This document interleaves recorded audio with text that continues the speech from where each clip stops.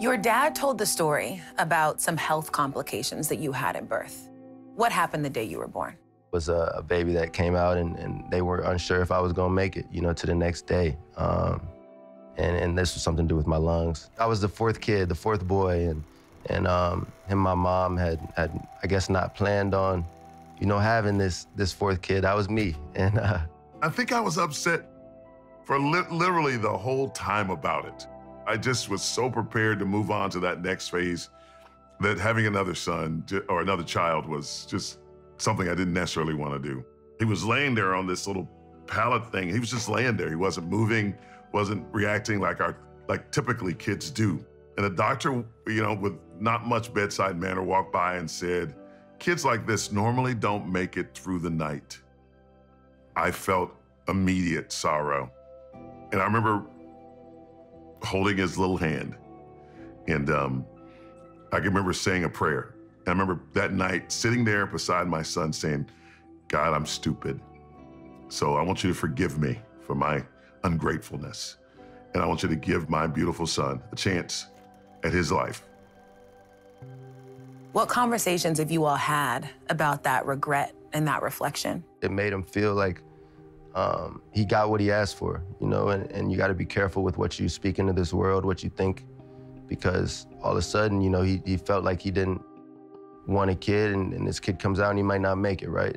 It also sounds like he was speaking life into you from quite literally the very beginning. Is that how you feel? Just the time that he spent with me apparently was where a lot of my progress was was made. Just me and his relationship, him hearing him tell the story, it always hits me a certain way.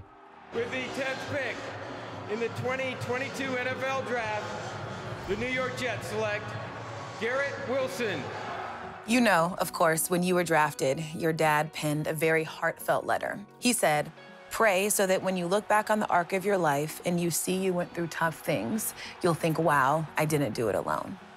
Last year, a very tough time for you. What was your prayer? There's gonna come that time where things ain't going right and, and you're gonna pray, no matter which side of it you fall on, right? Um, I've had to find, you know, new ways to, to hack the happiness. You know, it can't just be a result-based happiness. I gotta be um, strong in my faith. I gotta have hope. I gotta believe in, you know, what's to come is, is better than where I'm at. We got something to prove today. He's gone! Touchdown Jets! Garrett Wilson! You know, last year, you said was the hardest year of your life. What do you want this year to be?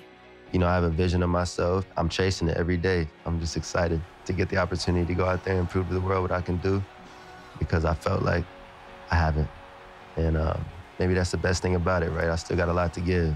What do you want your dad to always remember about how you love him and about how he has shown up for you? And I'm just, I'm just thankful that it was, you know, him that raised me. and, uh, you know, that I feel like me and his best days are still ahead of us. Like, I'm just thankful for you, Pops, and, and I love you. And, um, every message you ever told me, I, I, I keep, you know, right here all the time, truly. Wow. Let me take a minute.